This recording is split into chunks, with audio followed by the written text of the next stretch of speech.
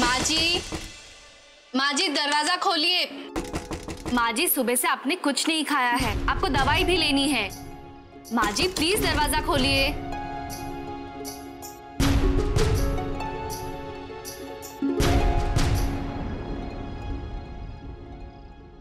Mom please दरवाज़ा खोलिए। Mom, ये क्या आपने जिद लगा रखी? है प्लीज़ खाना खा लीजिए ना।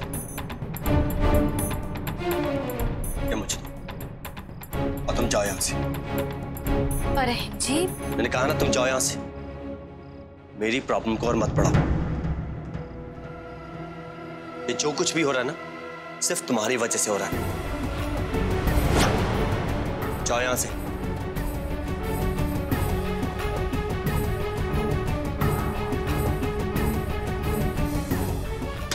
मॉम प्लीज़ दरवाज़ा खोली मॉम ये क्या बचपना लगा रखा है आपने?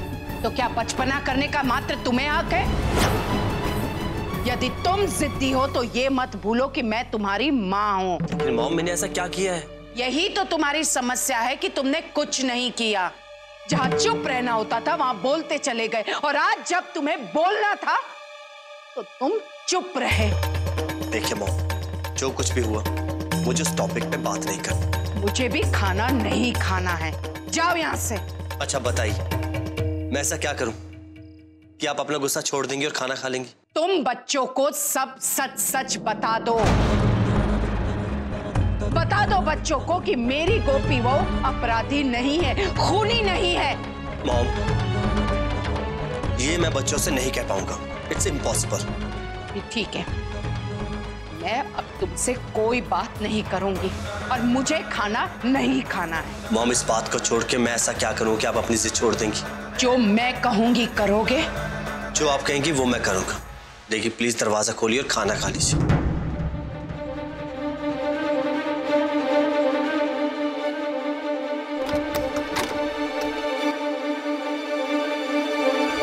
प्लीज़ खाना तो खा लीजिए।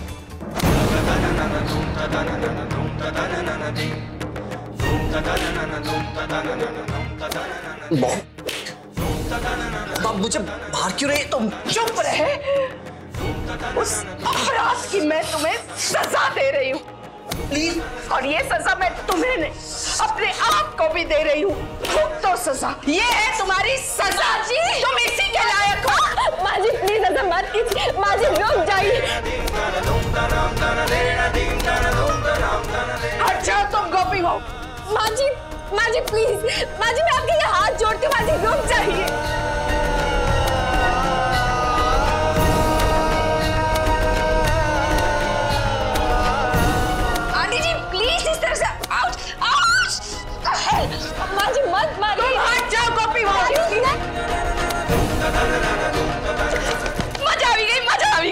अरे ये कोकी का नौकर बड़ी होशियारी मार रहा था।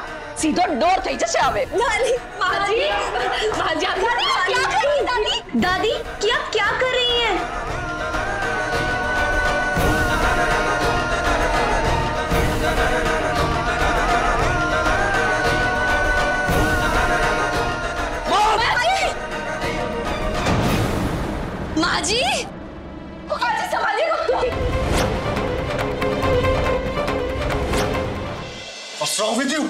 तुमने मॉम को धक्का क्यों दिया? अगर उन्हें लग जाती तो। डैड दादी किसी की बात नहीं सुन रही थी। एंड हाउ डेयर शी वो आपको ऐसे कैसे मार सकती है? वो मेरी माँ है और मैं उनका बेटा। अगर कोई बच्चा गलती करता है तो उनका पूरा हक है मारने का। लेकिन तुम्हें हक नहीं है धक्का देने का समझे तुम? पर वो किसी की बात सुन ही नहीं रही थी। और फिर सब चिल्ला रहे थे। मुझे कुछ समझ में नहीं आ रही। तुम्हें धक्का देती। अगर उन्हें लग जाती तो। Dad please try to understand कि वो नेचुरल रिएक्शन है। अगर मेरी जगह कोई और होता तो वो भी यही करता। मीरा?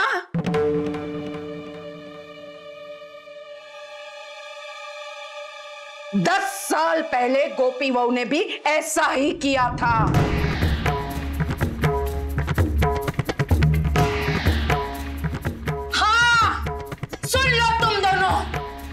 तुम लोगों को क्या लगता है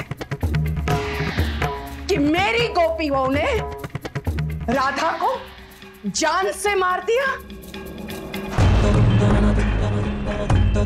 हाँ मेरी गोपी ने राधा को जान से मार दिया।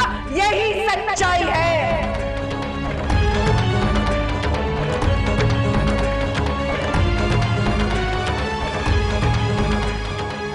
लेकिन यदि उस समय मेरी गोपी वो ऐसा नहीं करती तो राशि राशि की जान को खतरा था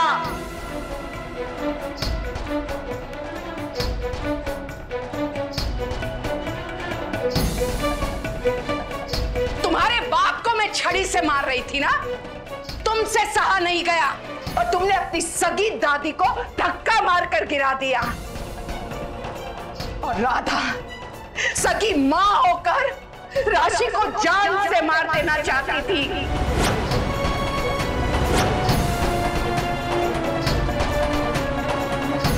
और इसीलिए मेरी गोपी बहू को ऐसा कदम उठाना पड़ा। और यदि उस समय वो ऐसा नहीं करती तो राधा, हम सबकी नज़रों के सामने अपनी कोख की जनी बच्ची को हमेशा हमेशा के लिए खत्म कर देती।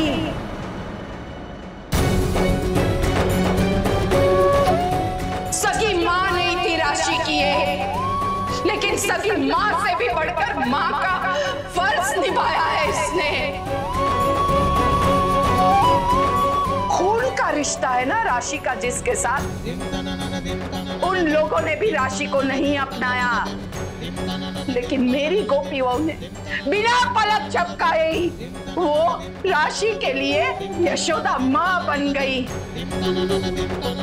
जिस प्रकार मीरा अपने पिता को मेरी मार से बचाने के लिए मुझे धक्का देने के अलावा तुम्हारे पास कोई रास्ता नहीं था, ठीक उसी प्रकार दस साल पहले राशि की जान बचाने के लिए, राधा को मारने के अलावा और कोई पर्याय नहीं था मेरी गोपी बहू के पास।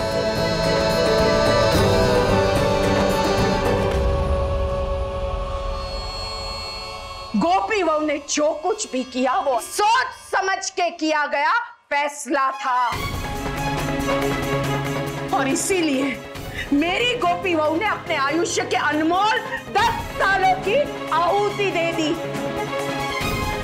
और उसी गोपी बहू पर उंगली उठाकर आप सब उसे कसूरवार साबित करना चाहते हो? मेरी गोपी बहू को तो कृष्ण भगवान ने ऐसी मिट्टी की बनाया है, जो हमेशा से दूसरों के लिए जीती चली आई है।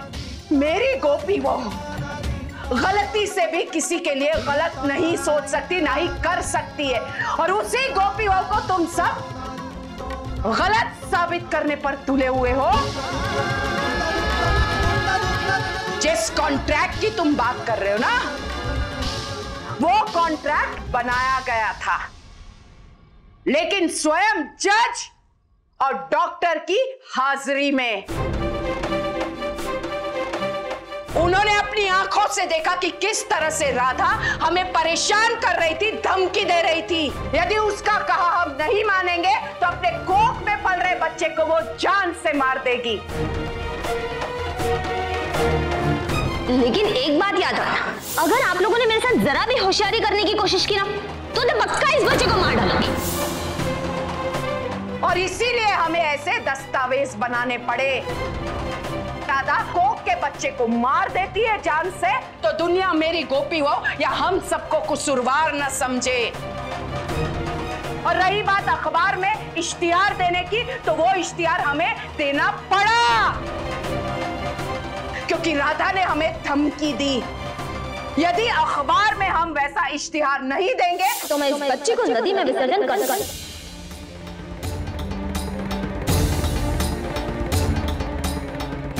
मेरी गोपी बहू ने जो भी किया किसी की ज़िंदगी बर्बाद करने के लिए नहीं बल्कि राशि की ज़िंदगी आबाद करने के लिए किया परिवार को बचाने के लिए किया।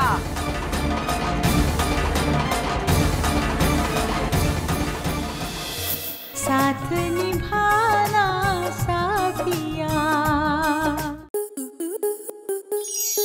आपके मनोरंजन पर अब नहीं लगेगा कोई ब्रेक स्टार प्लस के बेहतरीन शोज़ देखने के लिए लाइक शेयर और सब्सक्राइब करें स्टार प्लस यूट्यूब पेज को।